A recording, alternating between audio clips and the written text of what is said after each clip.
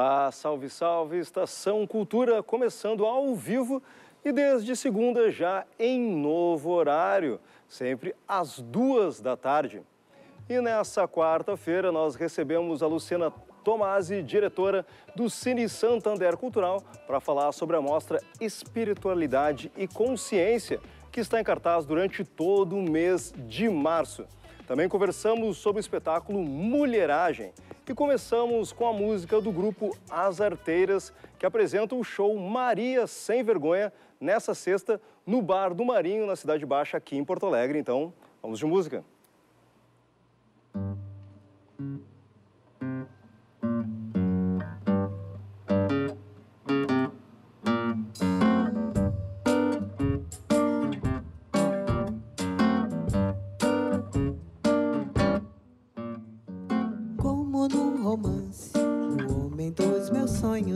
Apareceu no dance. Era mais um, só que num relance. Os seus olhos me chuparam feito um zoom. Ele me comia com aqueles olhos de comer fotografia. Eu disse cheese e de close em close. Fui perdendo a pose até sorrir feliz.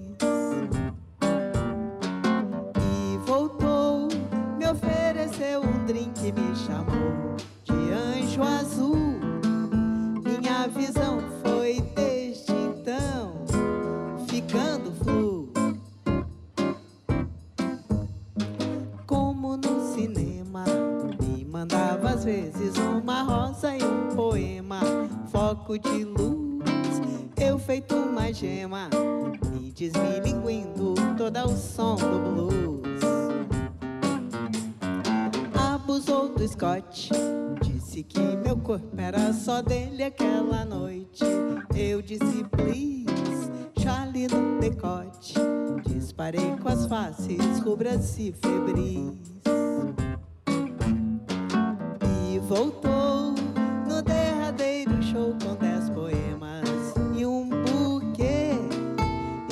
Disse adeus, já vou com os meus numa turnê. esposa. Disse ele que agora só me amava como esposa, não como está. Me amassou as rosas, queimou as fotos, me beijou no altar.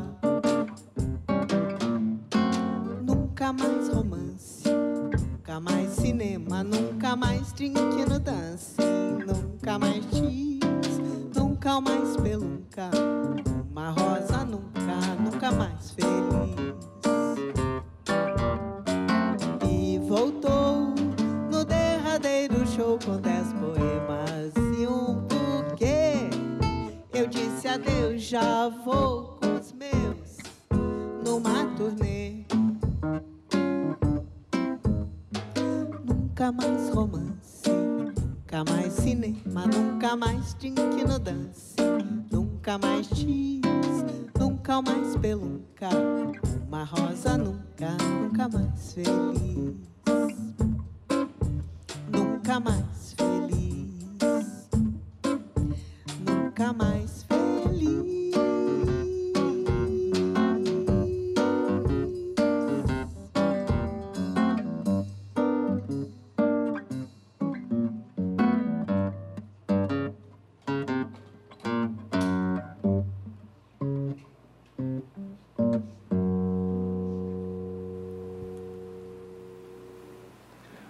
Obrigado, gurias. E no segundo bloco tem mais música com as arteiras. A gente fala sobre essa apresentação que acontece lá no Bar do Marinho.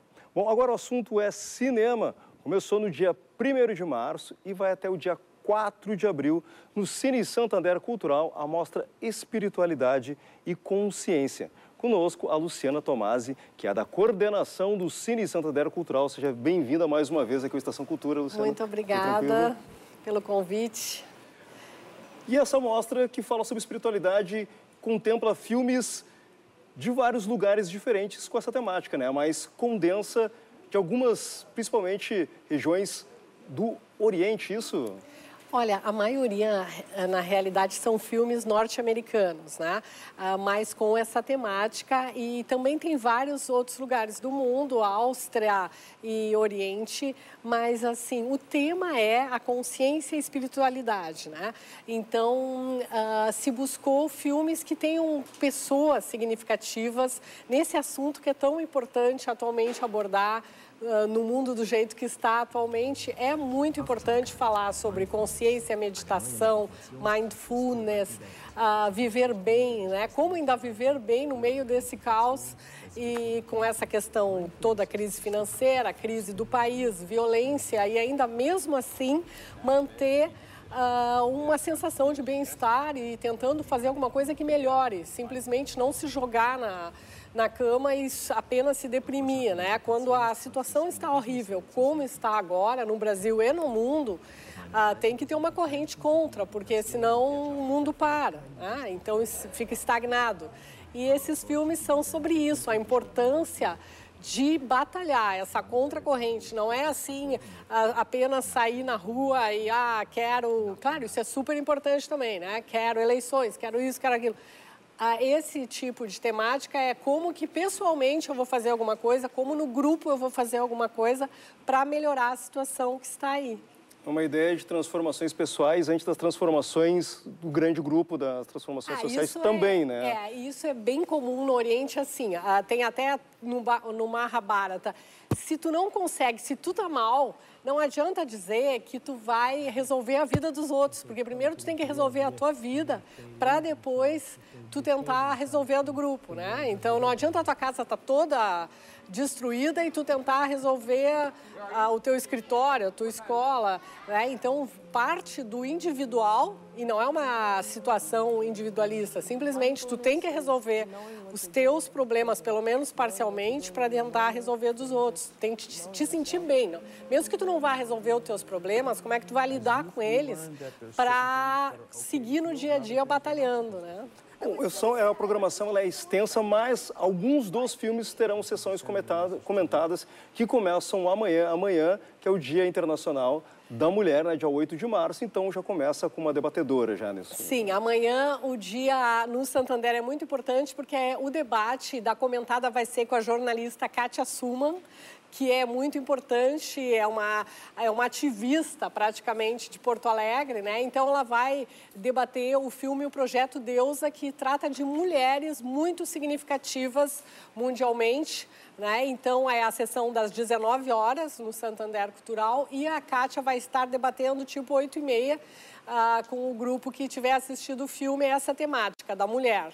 Depois temos também, ah, no dia 16, uma história mais espiritual com a banda Dharma Lovers, que é com o Nenum e com a Irínia, que vão debater a questão do budismo, o zen, a questão ah, dos mosteiros, né? Para quem gosta desse tipo de temática. Dia 17, um dia depois, aí vamos para Mindfulness, que são dois especialistas, um médico, que é o Trombica, e também vai estar uh, uma psicóloga, que é bem conhecida na Mindfulness, que é a Adriana Azevedo, Marcelo Trombica e Adriana Azevedo. E para encerrar as comentadas, nós vamos ter a Tânia Carvalho, que não podia, a jornalista também muito importante de Porto Alegre, para falar sobre bem viver, como viver bem na terceira idade, na velhice, né? Então ela vai estar debatendo esse filme que é uma maravilha de filme para quem gosta dessa temática da longevidade, da boa longevidade. Né? Então, esse é o filme de encerramento que seria a nossa temática de debate para fechar com a Tânia Carvalho. Bom, lembrando que toda a programação ela pode ser acessada através do site santanderacultural.com.br e tu consegue também descobrir por lá quais são os dias das sessões comentadas, para quem não conseguiu pegar aqui rapidamente. Lembrando que aí, a partir de amanhã, 19 horas, já temos sessão comentada com a Kátia Suma lá no Santander Cultural. Obrigado, Luciana, Muito pela tua obrigada. presença. Muito obrigada. Espero contar com todos que viram a entrevista, pelo menos em alguma sessãozinha. Obrigada. Certo, até a próxima. Bom, e tem dica de literatura. Até o dia 18 de março, acontece no Canoas Shopping a Feira do Livro Letrinha, com foco na produção infantil. Além dos títulos, nos sábados e domingo acontecem atividades como caricatura, teatro e apresentações de mágica. E antes do intervalo, uma outra dica, essa musical. Amanhã, o cantor e compositor Demétrio Xavier se apresenta no projeto Jueves Latino, ou Quinta-feira Latina, do tablado Andaluz. Demétrio homenageia as mulheres com clássicos latino-americanos como Mercedes Sosa e Violeta Parra. O evento começa às 9 horas da noite. Vive sempre ressentido. Desconfía del aburrido, del mentiroso y del triste. Cante el hombre enamorado, sus tristezas a la luna, sin saber que es gran fortuna sufrir por una mujer y que no hay peor padecer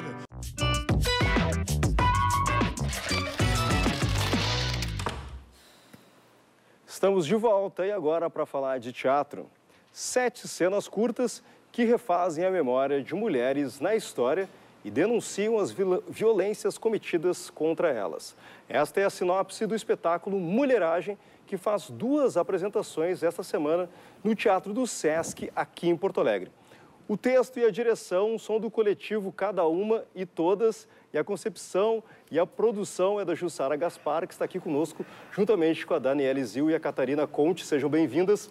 Mas já vamos fazer uma correção aqui. Tipo, esse Cada Uma e Todas não é bem um coletivo, na realidade, é realmente a autoria e a, como é eu posso dizer assim, uh, a responsabilidade de cada uma delas, né? Isso. Porque foram, são sete... Sete garotas, sete atrizes, artistas.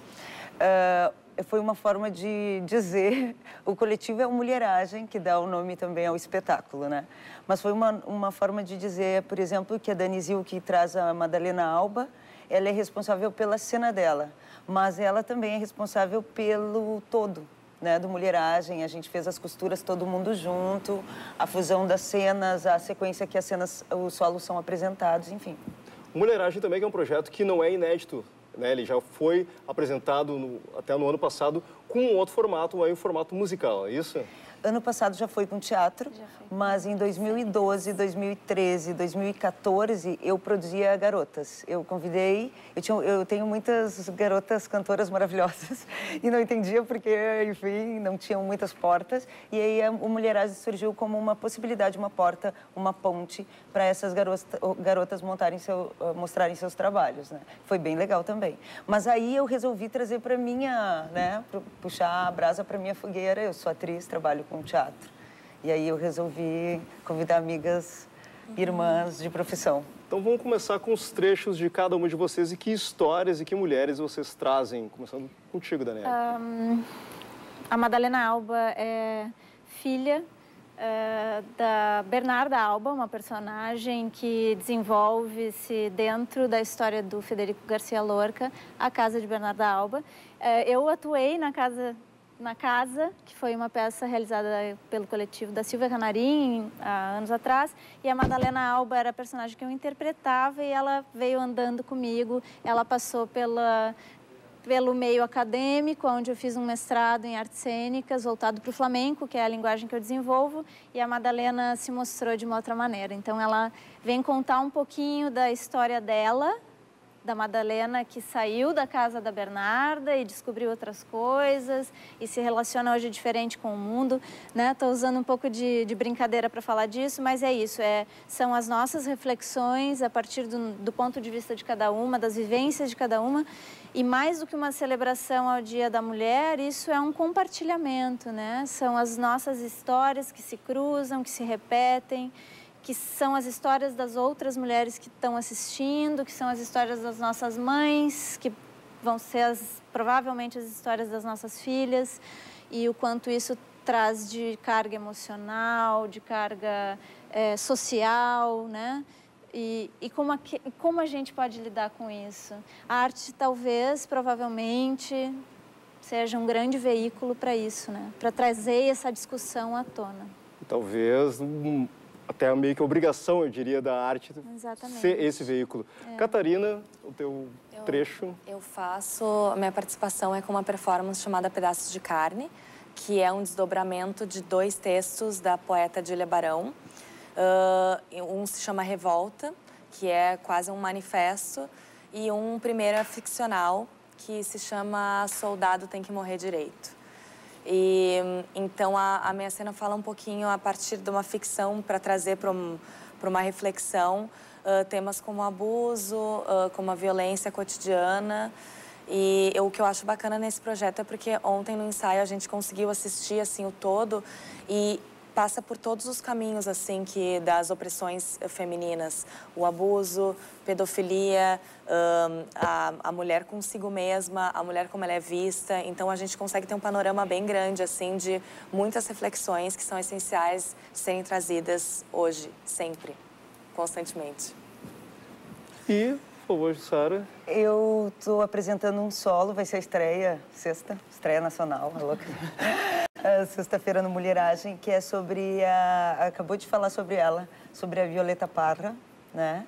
Que é, é o útero dessa América Latina, então, que eu venho trazendo esse solo. Uh, sobre a vida e obra dela, sobre... Ah, é, não dá para falar sobre tudo porque é, é 10 minutos. Normalmente, cada solo varia 10, 12 minutos.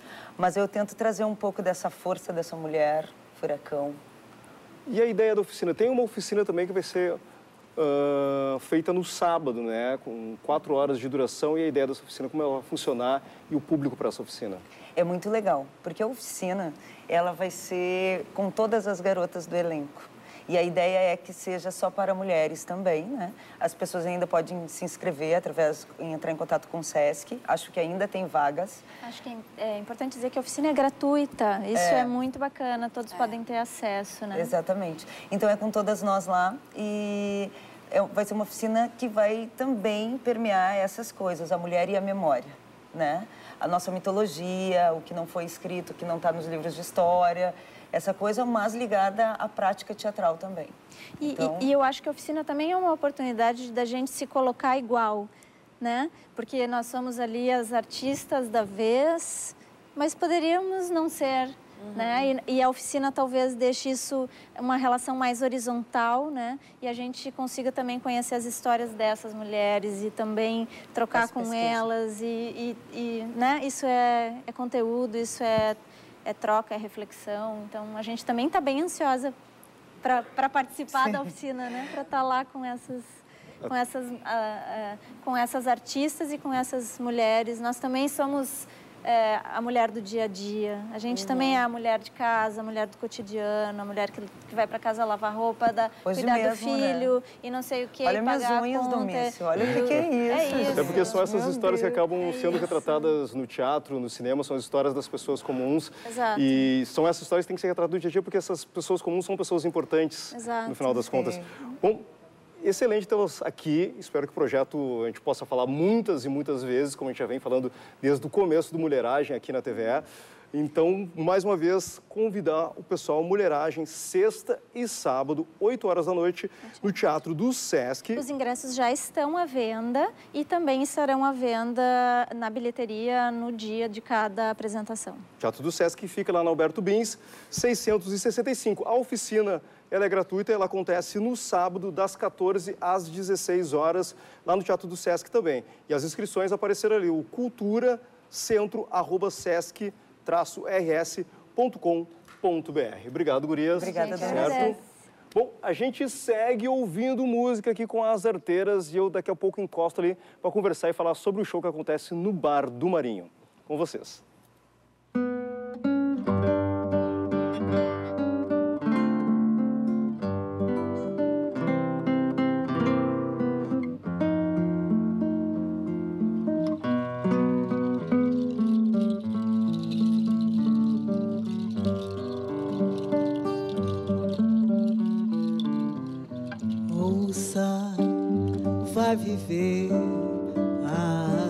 vida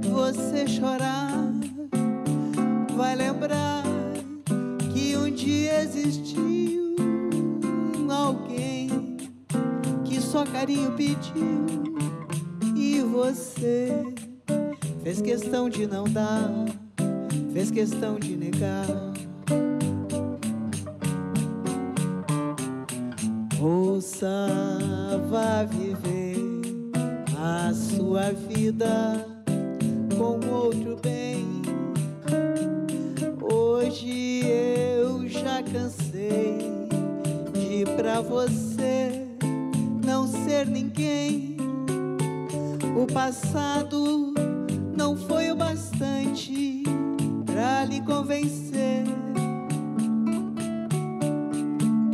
que o futuro seria bem grande, só eu e você.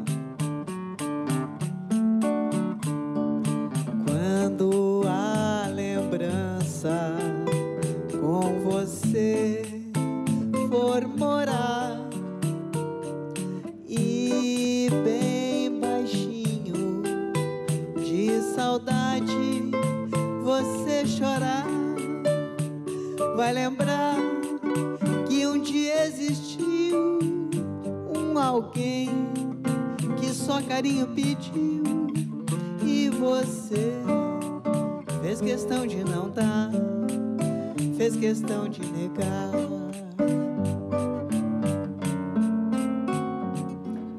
Ouça.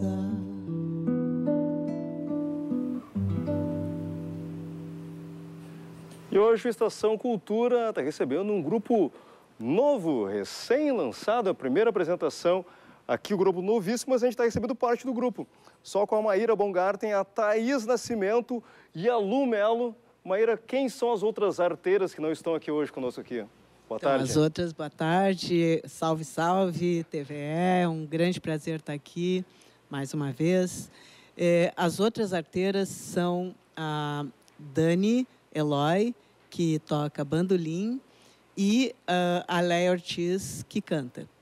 Bom, e a ideia de formar esse grupo só com mulheres, ah, buscando repertório, pesquisando mulheres também, mulheres compositoras, mulheres intérpretes e mulheres de várias gerações, né? É isso? Exatamente. Então, a gente eh, pensou exatamente em ah, criar um grupo só de mulheres que fizesse, um, que trouxesse um pouco eh, essa diversidade que é a mulher. Né? A mulher, eh, quando a gente fala em mulher, a gente pode ter várias perspectivas.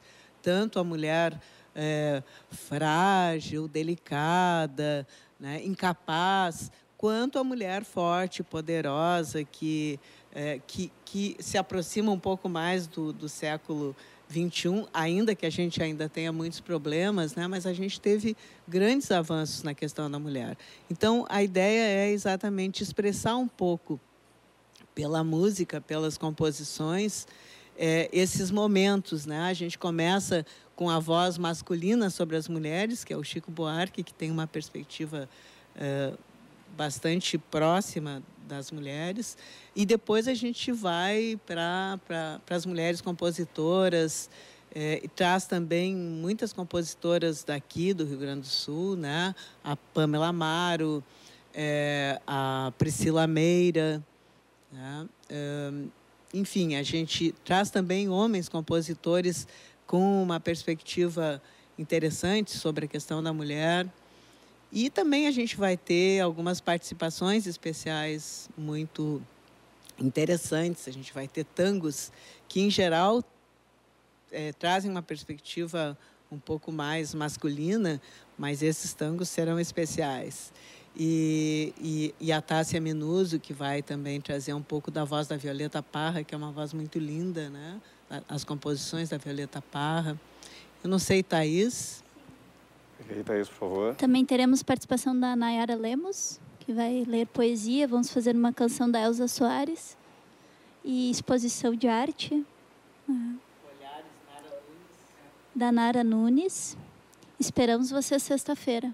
Bom, então vou reforçar aqui o convite aqui. Sexta-feira, no Bar do Marinho, as arteiras apresentam o show Maria Sem Vergonha a partir das 21 horas. Legal também lembrar assim, também que as meninas que fazem parte do conjunto também desenvolvem uma série de atividades paralelas com música, então cada uma tem o seu trabalho por uma série de vertentes musicais diferentes, né? Também reunir para fazer esse repertório também é interessante nesse sentido de reunir mulheres diferentes com talentos diferentes e que fazem músicas, musicalidades diferentes, né, Maíra? Exatamente. A gente tem assim o, o tá no guarda-chuva, né, do Clube da MPB, que é um projeto de música brasileira, mas uh, a, Thaís tem uma escola de música dinâmica, né? a, a, a Lu dá aulas também, dá aula de percussão. Uh, algumas de nós temos outras atividades além da música também, né? Uh, mas uh, enfim, uh, o que nos o que nos uniu e o que nos faz é, tornar-nos arteiras é exatamente trazer um pouco a voz da mulher e as composições sobre mulher e essa essa coisa da mulher hoje, o que, que significa estar no século XX com toda uma história de opressão e também com toda uma história de libertação, do feminismo e tal. Então, essas histórias vão surgir. Tomar o lugar de fala, né? Aquela bela história.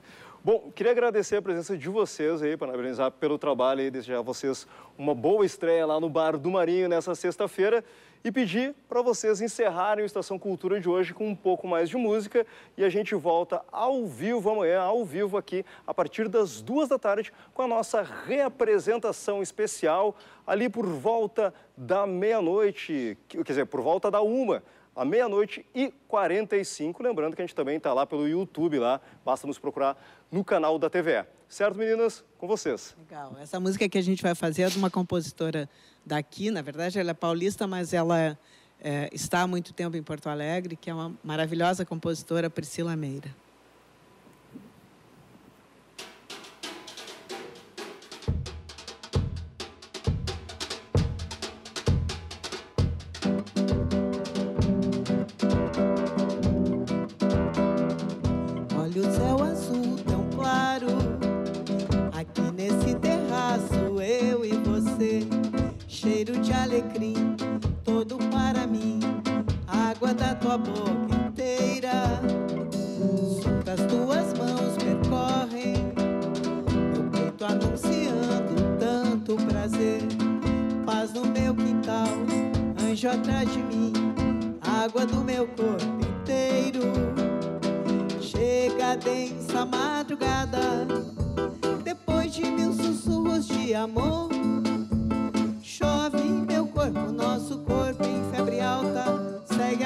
Até o amanhecer.